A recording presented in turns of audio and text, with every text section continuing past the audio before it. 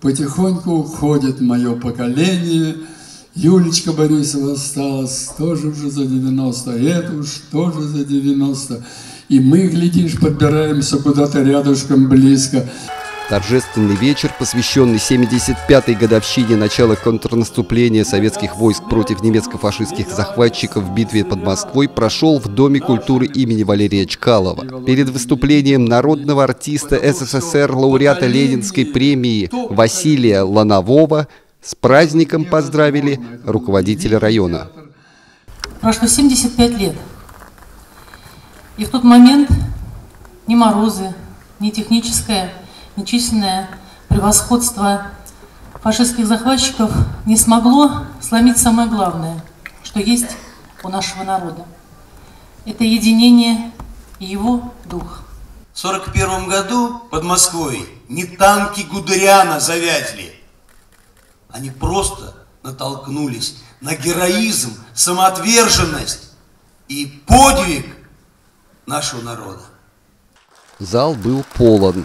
По-особому тепло принимали любимого актера Василия Ланового. Его знают все. Знают по фильмам Павел Корчагин, «Алые паруса», «Война и мир», «17 мгновений весны», «Анна и командор», «Дни Турбиных» и еще по очень и очень многим фильмам, вошедшим в золотой фонд нашего кинематографа. Он любимец публики и как театральный актер, и как великолепный исполнитель стихов, которые тоже известны всем, кто любит великую русскую литературу. Василий Семенович очень уважаемый общественный деятель. Вечер продолжался более двух часов. Ладовой читал стихи, рассказывал о своей жизни, о пережитом. Василию Семеновичу совсем скоро исполнится 83. Я пожелал бы вот представителям того поколения, нашим дедам и отцам, вот как можно дольше прожить, потому что пока они существуют, никаких грязных дел не может быть рядом с ними, потому что они святые все, понимаете? И вот я хочу, чтобы Боженька улыбнулась им и держала как можно дольше их на свете. Вот и вся недолго. Василий Ладовой, безусловно, говорил о таких людях, как Виктор Чепуров, участник Великой Отечественной войны, народный учитель России. Я прожил эту самую войну, я прошел и тыл, и фронт.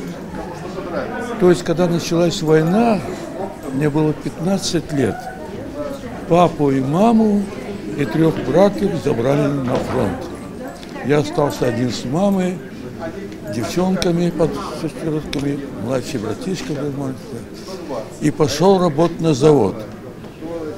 И работал три года.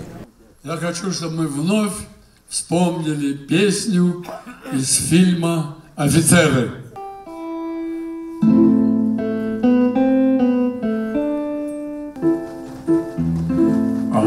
Героев былых времен Не осталось порой имен.